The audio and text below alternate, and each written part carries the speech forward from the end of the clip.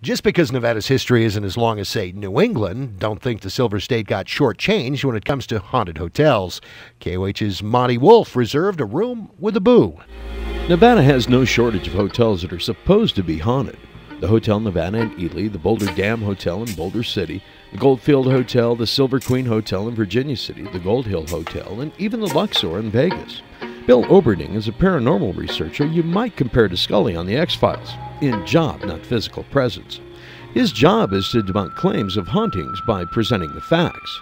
But when it comes to the Mizpah Hotel in Tonopah, Bill has no explanation. We stayed on the fifth floor where it was supposedly haunted.